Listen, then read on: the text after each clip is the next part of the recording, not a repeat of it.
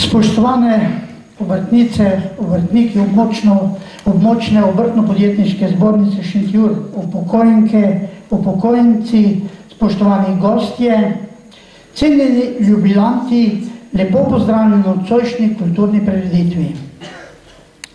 Pred nedavnim se je izteklo še eno koledarsko leto, za nas obrtnike in podjetnike tudi poslovno leto.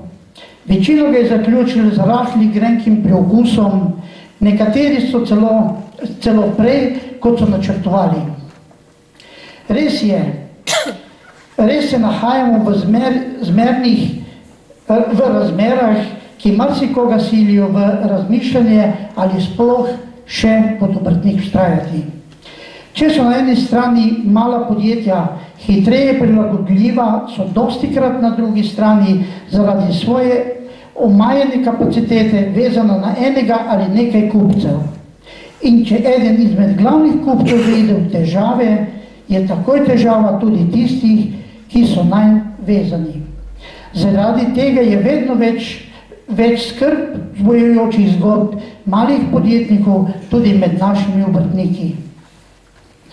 Žalostno je tudi, je tudi to, da ključna ministrstva nimajo posluha za težave, ki nastajajo ob uveljavitvi predpisov, ki največkrat najbolj prizadanijo ravno male gospodarske subjekte. Zadnje takšnih potez je vsem znana omejitev gotovinskih plačil med gospodarskimi subjekti, proti katerim se že več kot mesec dni brez uspeha upira vodstvo zbornice. Tudi dejstvo, da razen Italije nobena država v EU-ju nima omejitve gotovinskega plačevanja in omaja, omajala finančnega ministra in ni omajala finančnega ministra, da bi kmalo umaknil pravilnik, ki povzroča ne malo težav in nezadovoljstvo med našimi, med našimi obrtniki in podjetniki.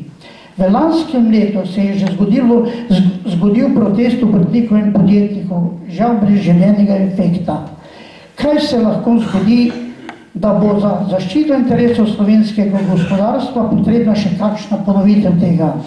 Žal je največja težava v nezainteresiranosti in neodzivnosti našega članstva.